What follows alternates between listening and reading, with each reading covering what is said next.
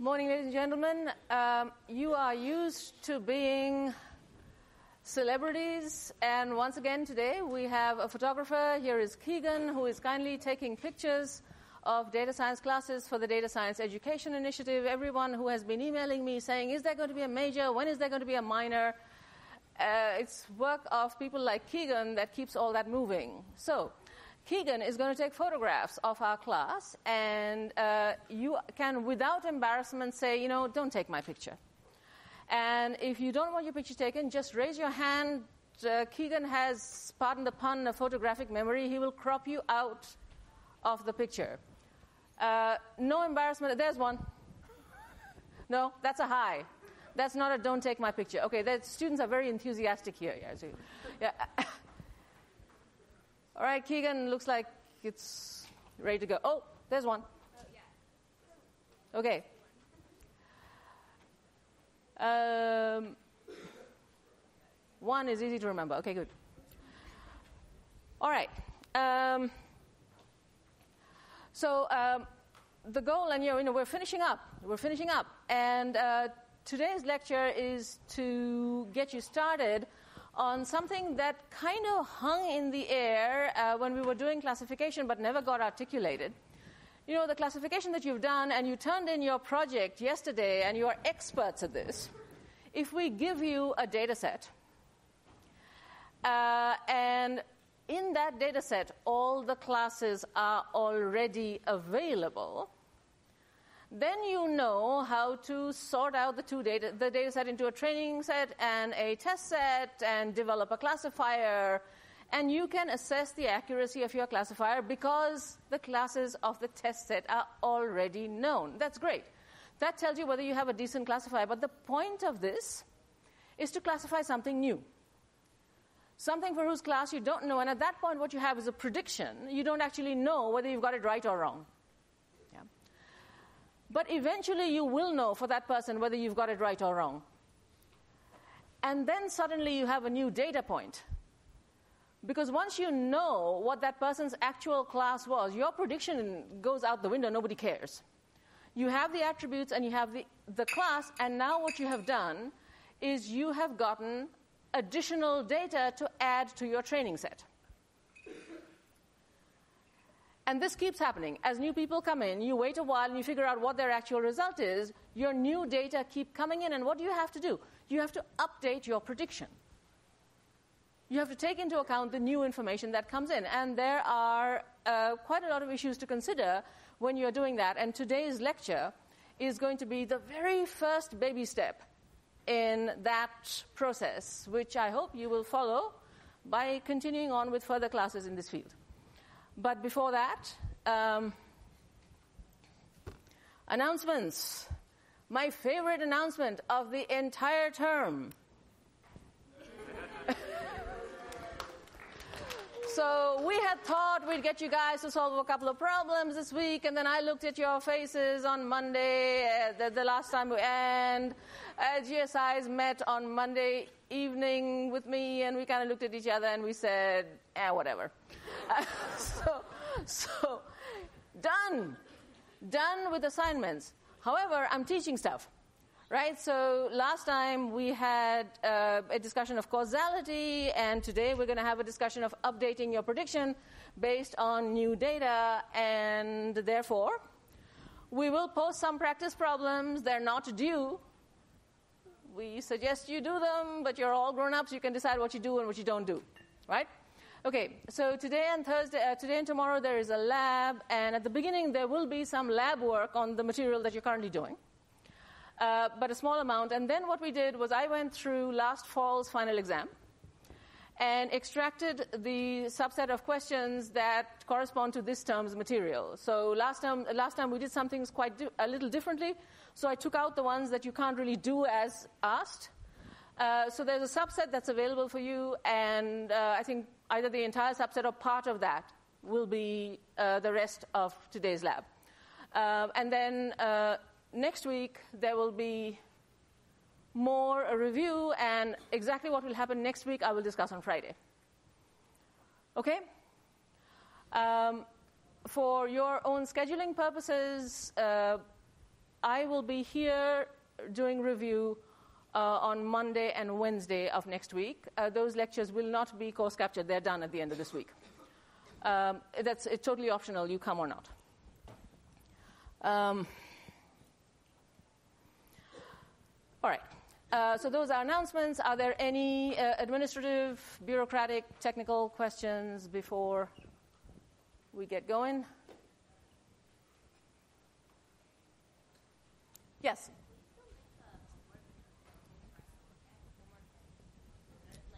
I can't hear you.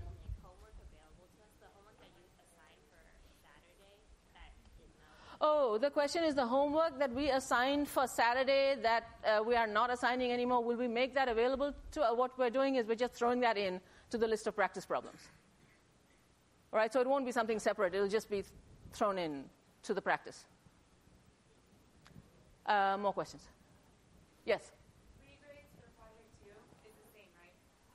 Regrades for project two is the same. Project three, there'll be some note that will go out. Right? Project three just came in yesterday. Well, project two was graded yesterday, right?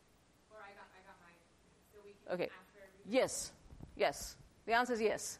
Project three, I think we're kind of a little bit on your own here. Yes. Are we always going to have access to the textbook and previous labs, like even after we like uh, are done with the class? Ah, good question. Are you going to have access to the textbook and previous labs after you are done with the class? You know, I actually don't know the answer to that. Probably. Uh, mm, we change it every year, every semester. I'm going to try and keep this textbook up. As for the assignments, maybe, maybe not. I don't know yet. It will depend on what John DeNero wants to do.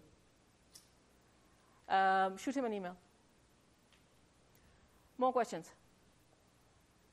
The textbook I'm going to try because I'm teaching, uh, uh, several of us are now teaching a class that has Data 8 as a prereq.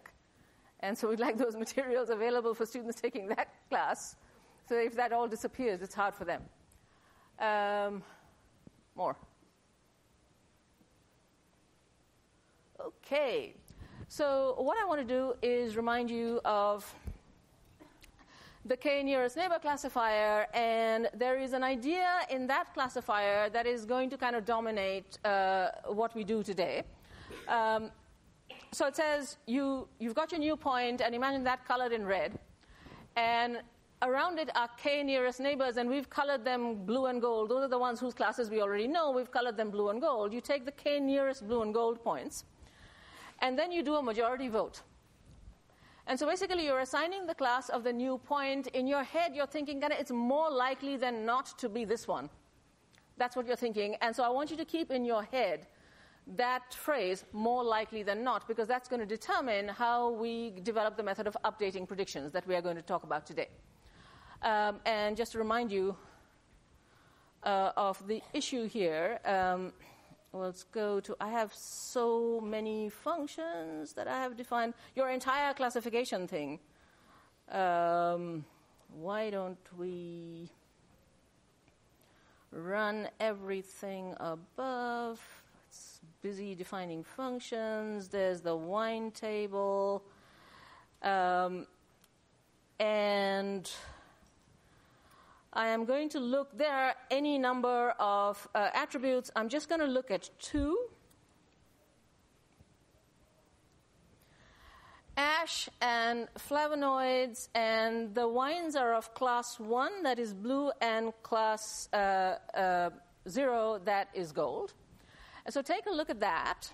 And if you're going to do a one nearest neighbor classifier, if you could look at those points, and see where you are going to make the mistakes. Just a one nearest, the absolute, the closest point you're going to take, and uh, that's going to determine your color. So I'm going to put down a new point somewhere. You're going to take the closest point. For which kinds of points are you going to make a mistake? Talk to your neighbor.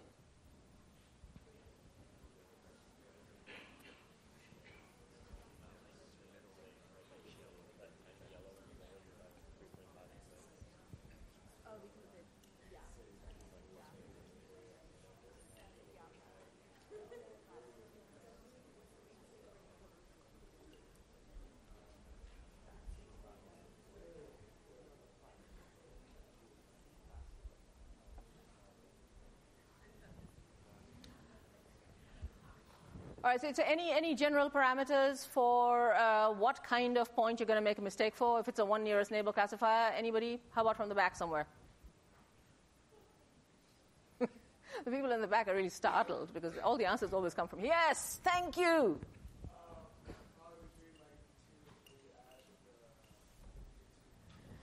Yeah, up here is the worry. Yes, up here the worry is that you might have a gold point whose nearest neighbor is blue, or you might have a blue point whose nearest neighbor is gold. Is the place that the overlap that is the most worrying. And so now, how does say three nearest neighbors uh, maybe give us a better shot at getting something right? So we take this.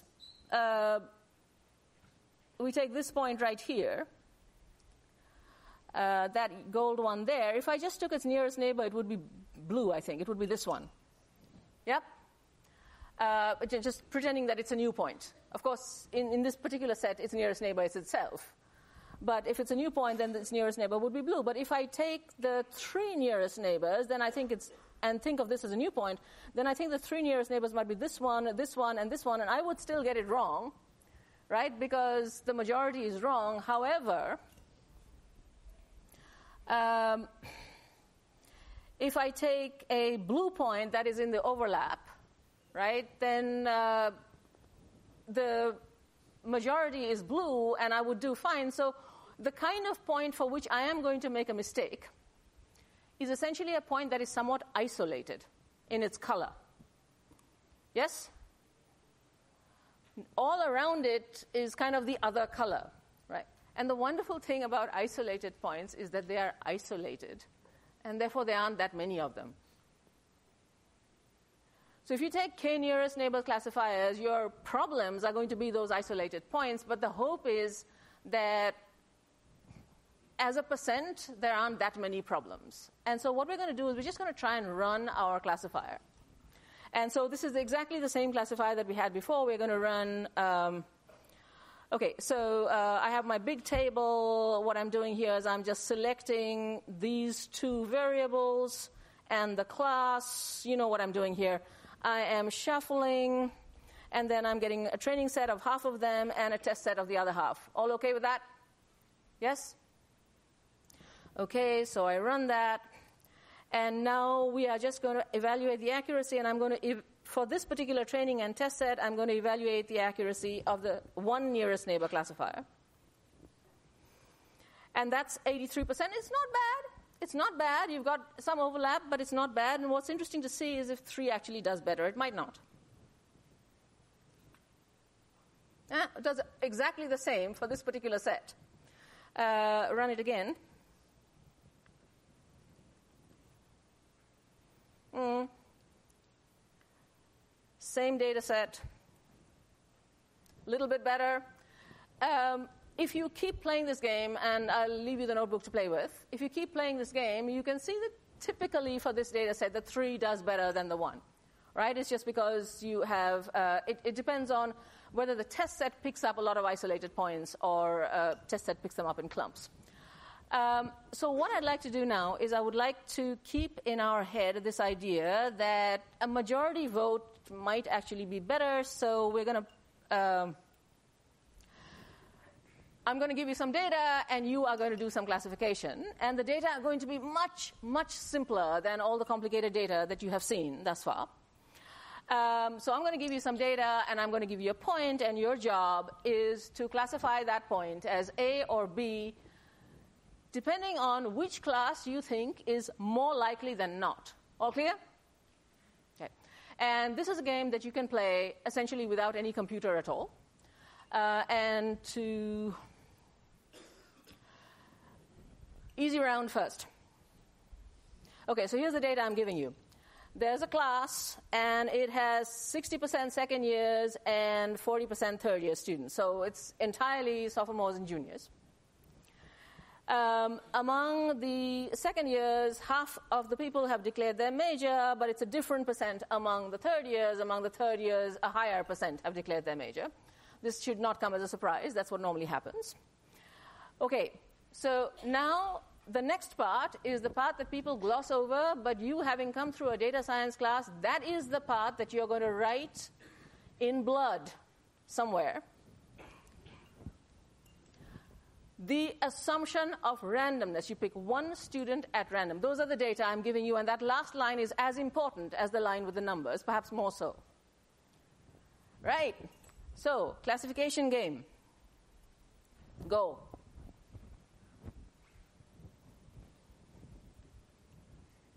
What's, what's your criterion? More likely than not. Talk to your friends.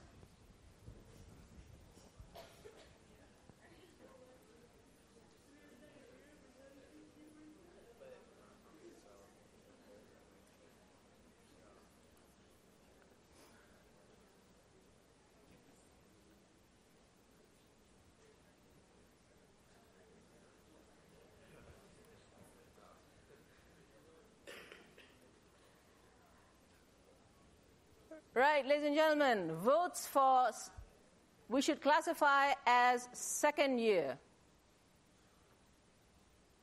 Have the hands a little higher, please. Okay. Votes for we should classify as third year.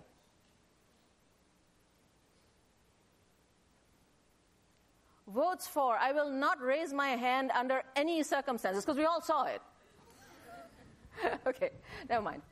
Uh, So there was a subset, a clean subset that said second year. Nobody said third year, and there's a little theorem there. Because those other people, what's your classification? Okay, so we'll play this game again. And uh, here is my experience over decades of teaching the people are terribly embarrassed about raising their hand because they worry about what other people will think if they raise their hand for the wrong choice. Let me get rid of this worry. Nobody will think any but anything because nobody's looking at you. Right? That's the issue, right? I am certainly not able to tell from a big class who is raising their hand, and honestly, it doesn't matter to me, it doesn't matter to your neighbor, but it clearly matters to you a lot, so we play the game again. Right? Same question, on whatever device you have or on a notebook, please write down second year or third year. Just do that. You don't have to be public about it. Just write down second year or third year. Come on. I'm going to give you exactly five seconds. Five, four, three, two, one, zero. All right, yes! Somebody actually holds up his sheet. I like it. Excellent. All right, yeah, so. Uh, it's difficult to, to realize this, but really nobody's looking at you. Okay. Uh, so there were a, majority, since I'm going with majorities today, there was actually a majority that voted for second year. I think I'm just handing you this student. I'm asking you to classify. I've given you a whole bunch of smoke. I'm giving you a bunch of stuff about whether they've declared or not declared their majors, but who cares? You're just trying to see are they second year or first year? What percent are second year? 60%, yes? So why do you think that's more likely than not? And not just because 60% is greater than 50%, everybody knows that. What is on this page, on this screen, that is telling you that that is what you should pick? There's a 60%, but yes, because I picked them at random. Because I picked them at random from the population, the chance that they are a sophomore is 60%, and that is an important statement that we will need later on in this lecture. All right, great. So uh, the uh, classification is second year, and there is actually a chance, and the chance is 60%, and you've won this game, but really, this was not really a career opportunity for anybody. So let's play round two, and I'll give you pretty much the same data. So, same class, same class, same class. And I'm still going to pick a person at random, but now I'm going to give you a little more information.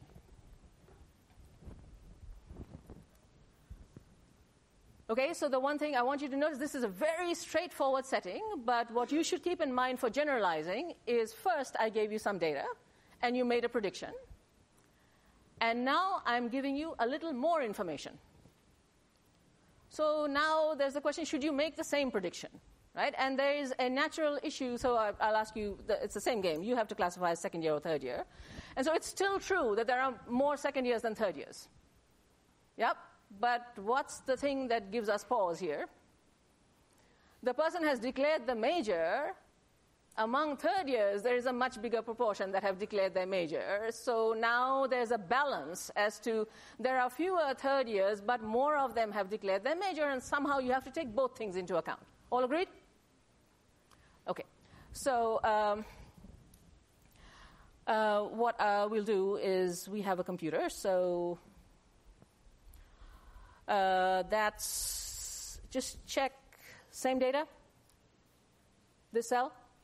60, 40, and the reason I'm asking you to check is last night I went back and forth between the percents, and so I might have done something silly, but I don't think I have. Okay. So one student is picked at random, and what I'm going to do is I'm just going to create a class of students uh, with 100, a class with 100 students that has the right proportions. Okay, so some of them are second year undeclared, some of them are second year declared, and then there's third year undeclared, and look, third year declared is very large. Yep, okay, so uh, what we need to do is get the relation between the year and the declaration of the major, and ladies and gentlemen, our favorite method is pivot. We love pivot. Just keep telling yourself that.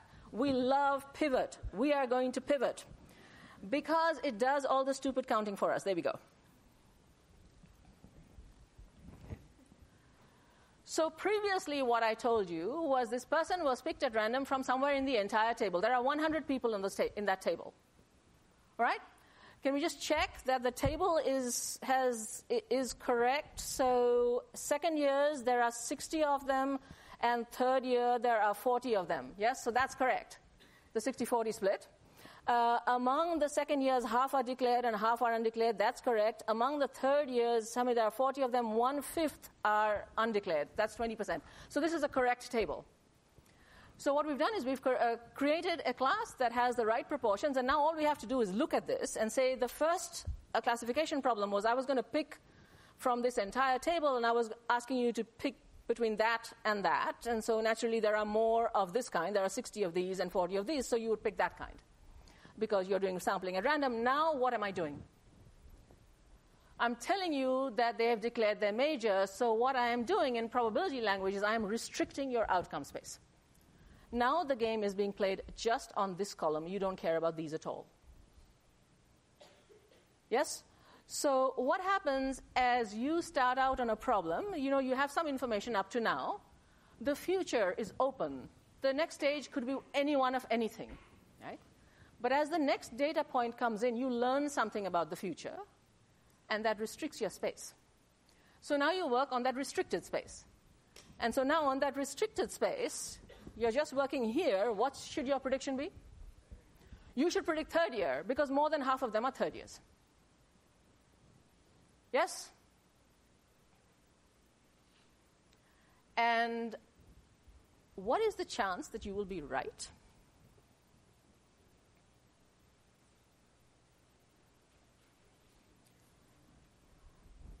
Thirty-two percent? Maybe not. You see, you know you're here. Yes? The reason you picked this is because you thought that if I know I'm here, this is more likely than not right? So your chance of being correct better be bigger than a half. So you will be right if you get one of these people out of all of these people. And so your chance of being correct is 32 divided by 30 plus 32. You agree? Yes? Because your total is 62 now. That's what you're working with. And that's just above a half. All right? And that's the method that you use for updating whether you are working here today in this lecture or whether you are doing uh, machine learning later on, uh, there are just more complicated ways of using this idea. It's just every time you get some new information, it restricts your outcome space, and now you work on that restricted outcome space, and you keep, just keep, keep doing that. Uh, a good way to visualize this is by something that you will, might have seen before. Um, so I'm actually going to take that off so that you can see both the table and why can you not see? Hmm. Okay, so right there, I think, can you see both things on the same screen? Yes? All right, so both of these visualizations partition all your 100 people into four groups. That's the second years who have declared, that's the second years who are undeclared, that's the third years who are declared, that's the third years who are undeclared. Correspondingly, the second years who have declared, the second years who have undeclared, the third years who have declared, and third years who have undeclared. Just please convince yourself that those two are doing the same partition. Yep. Also, please convince yourself that up here, I created a class of 100 people. Did anybody tell me that the class had 100 people? Nobody told me the class had 100 people, so I could just as well have created a class with 200 people, as long as I maintained the proportions the same, and I would have got exactly the same classifier. Agree? So all that matters is the proportions, right? And so now I think visually you can see very clearly. We took 32 divided by this total. Where's the 32? It's the third year declared. Third year declared 0.4 times 0.8, 0.32. Yes? So, no need for creating the population, you can just read it off the proportions. 0.4 times 0.32 is uh, the uh, declared third years, and the total is, well, that plus the 0.6 times 0.5, which is the declared second years. Yes? And so the calculation that we did by creating the population and then doing the counts and then looking at what the proportions were, we could easily have done from this tree as follows. Uh, here's the 0.4 times 0.8, that's our numerator, that's the 32. And then at the bottom, you have the 32 plus the 30, that's right there. And you get exactly the same answer. Yes? Uh, and this is the classic method of updating your prediction based on. So, with no information about the major, we had said sophomore. With information about the major, we now say uh, junior. Okay. And this method of updating is at the center of um, updating um, predictions uh, in uh, machine learning and uh, uh, other areas, and there's a lot of language associated with it. Um, so, before you knew the information about declared, you had some uh, idea of the probability that this person was a uh, second year or a third year. Those probabilities are called the prior probabilities because they're before you've got your new data. Now, there's always a question as to which is prior and which is post because it depends on where you're standing, whether you're looking back or looking forward. So, at any given moment, there is a past and there is a future. When the next data set comes in, you sort of take a step forward and the past grows. Yes? And so, and then the past keeps growing. And, you know, if you're my age, you have a very long past and a relatively shorter future. And if you're your age, you have a relatively shorter past and a quite long future. Um, but uh, the terminology is for a snapshot at one moment, right? So uh, before you've got information about whether the uh, about the major, you have these two prior probabilities. Where did they come from? They came from the data that I gave you about the class. Those were the two percents. So I gave you point, uh, 0.6 and therefore also 0.4. And I told you that the person was sampled at random. And so therefore you have 0.6 and 0.4 as probabilities, not just proportions. Okay.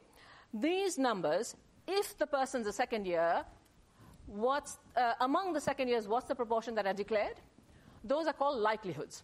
If you know the person's year, then what is the uh, probability that they are declared? Those things are called likelihoods. So, given that I'm standing with a person of a certain class, what are they going to do next? That's called a likelihood. This is what I call the forwards probabilities. right? just going forwards along the trees. And these are typically the things that you see already in your data. Um, and the method that we used is called Bayes' rule. And what it does is it gets us a posterior probability. That is, we stand here and I tell you that the student is, has declared their major. So now you know that instead of being in any of the four branches, they're either there or there. Yes? They're either in branch one or branch three. That becomes your whole space. And so the proportion of that is your denominator. Your whole space is now this or this. Yes? So that total proportion is not 100%. That's, that wasn't your 100 students, that was 62 students. Yes? This is your 0.62 right here. And what you are asking is what's the chance that the person is a third year given that they are declared this vertical bar is read as given? Uh, and you're just saying, well, it's the chance that they're here relative to the total chance that they're here or there. And that's why you have this ratio of proportions, and that comes out to be more than a half, and that's why you pick third year. And uh, that probability is called a posterior probability because it is your prediction of w- that this person is a third year after you've been given the information about their major. So uh, when you go backwards along the tree, finding probabilities backwards along the tree is when you are restricting the tree to just a few branches that you know you're on, and then finding all probabilities relative to just those. Somebody had a hand up. Right, I'll pause for a second. And you should, all of you should be noticing this is just properties of proportions. Yes, there's nothing really that has happened here. There are probabilities because you're picking a person at random, and I want to talk a little bit about that randomness in just a moment. Uh, but I'll take questions on the method. Yes? Why you add the two lower? Uh, why did I do the sum here? Um,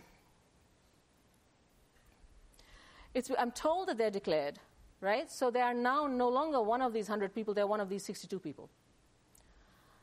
That's my first proportion, and that's the second one. So 0.3 and 0.32.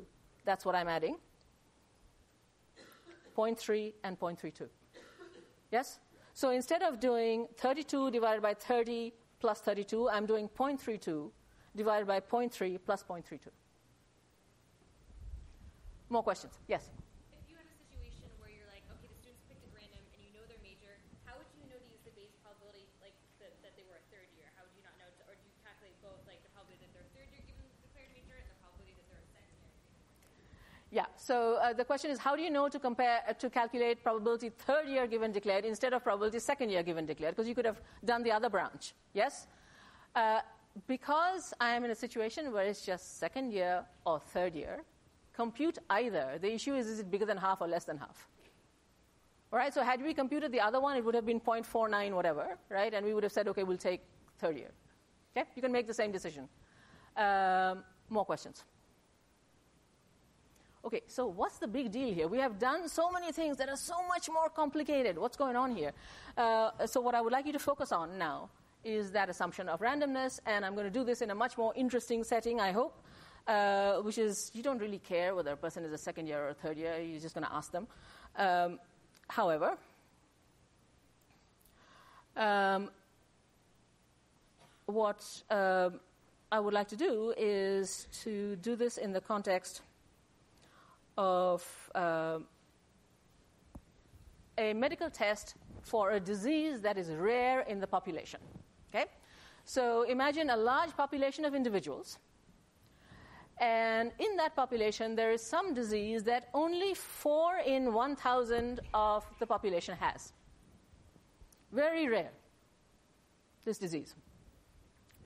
There is also a medical test for this disease. Now, uh, medical tests for disease will return to you a value of positive. That's the test thinks that you have the disease. Or negative, the test thinks that you don't have the disease. Yep? And so for this, so now I'm asking you to imagine that for this disease, there is a medical test. And what these branches are giving you are basically the error rates or the success rates of the test. Could you please look at those four branches? You agree that the person either has a disease or doesn't. And regardless, the test will either return a positive or a negative, and therefore there are four branches. Yes? Two of those branches are bad. Which two are bad? Which two? Is that a good one or a bad one? Good or bad? Horrible for the person. Right? but from the point of view of accuracy, well, I guess the test is picking it up correctly. Yes? This is bad. Yes? This is called a false negative. Um, this is bad. This is a false positive. From the patient's perspective, this is sort of a better error, right? Because you know the test gives you a bad answer, and then finally somebody comes and tells you, "Ah, just kidding, April Fool." Uh, that's actually bearable. The other one's harder, and this is also a correct answer. And so, where are the errors? The errors are here and here. So, these two are error rates, yes? And they are different error rates. You can't compute one from the other. And most tests uh, have one error rate that's sort of smaller than the other. And this test has a pretty small false positive rate, but uh, slightly larger false negative rates, you start worrying about the test a little bit. But anyway, those so this portion, all of this part is just to do with the test, and all of this part is just is to do with the patient. All right? Okay. So now, question to you: I will pick one patient at random and tell you their test result. All right? So I pick one patient at random and I tell you that patient tested positive. Based on that, can you figure out the chance that the patient has the disease? So I will pick a patient at random, and I'm telling you, I've done that. I've picked a patient at random, the patient has the disease, all right? Sorry, the patient, back up. I've picked a patient at random. This is what happens in real life. The pa- the, there's a test, right? And the test result is plus. What I'm asking you is can you figure out the chance that the person actually has the disease? What will you do? Yeah, you, you, you, they could be on one of these four branches, but I've told you that they're here or here. Yes? So your total space is these two branches, and what I want is that they're actually up there. Agreed? So we'll find the chance of this branch relative to the total chance of these two branches, and that's we're going to do Bayes rule. The calculation is straightforward. How do you know to do Bayes rule here? Because I'm giving you the result of the second stage and asking you for the probability of the first one. Yes? Giving you the first stage and asking you for the probabilities of the second one, you can read off the table. There's no work to do. This going backwards in time is what you're trying to do, and so um, that was my calculation. Do you agree or do you not agree? So I'm either there or there. So that's 0.004 times 0.99. That's right here. And here is 0.996. 0.005. That's right here. And I want the chance that I'm in the top branch. That's up there. Agreed? Okay? Now, the one thing I want you to notice it's a pretty good test. It has small error rates. All right? The person has gone in, they've been tested, they're positive, and what we are figuring out now is what is the chance that they have the disease? Yes? You want that chance to be high or do you want that chance to be low? High. The person has tested plus, right? You really want. I'm asking you what is desired, right? If the person, you go in, you've tested, you would like to trust the test. Yes? But if you actually work this out, which some people have already done, there's a little issue. Bigger than half or less than half? Less than half. The person has gone, it's a, it's a pretty darn good test. The person's gone in, they've come back with a plus result, and what are we predicting? We're predicting now you don't have the disease. there is something very strange about this, right? And it is bears examination. Right? So the first thing I want to do is I just want to create the population with 100,000 patients because you know I have very small proportions, so I have to have people So we'll create the population with 100,000 patients, and so I just wrote a function. Okay, this function population creates the population with this percent of diseased, these people. Yes? And this test. So the test is always constant, so it's not an argument. Right? It's just going to create this population and it's going to do our counts for us. Yep? Okay, so it's creating a population of 100,000 people and it's giving us our counts. Take a look at that. 100,000 people, yes? Uh, and four in a thousand have the disease. So, total, how many have the disease? Four in 1,000 have the disease. I have 100,000. Four in 1,000 have the disease. I have 100,000 people. 400 have the disease. Yes? Is that correct? Yes, because it's 4 plus 396.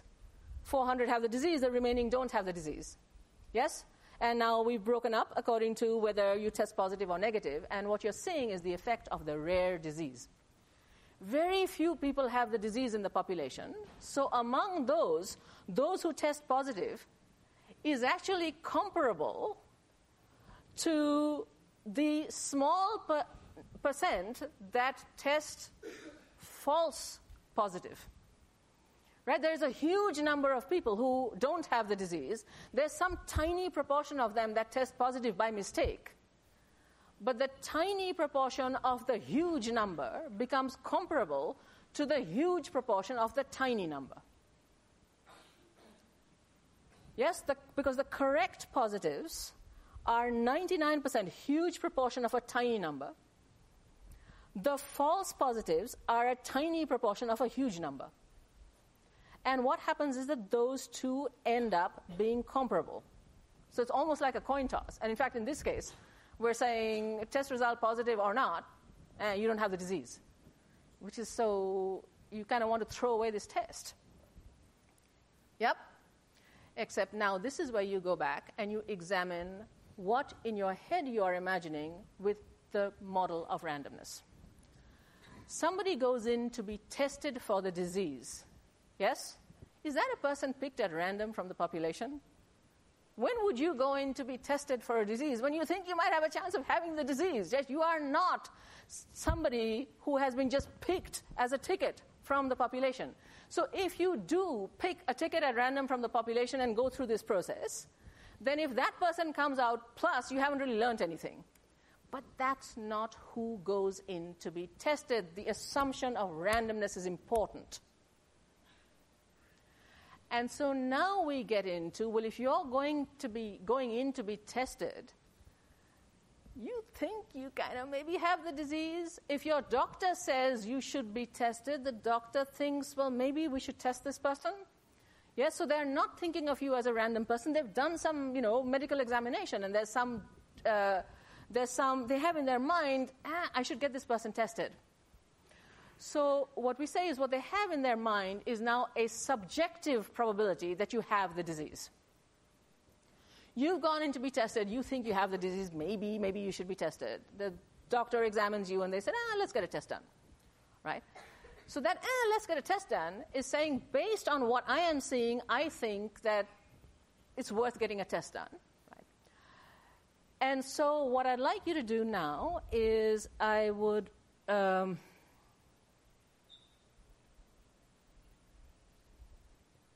trees.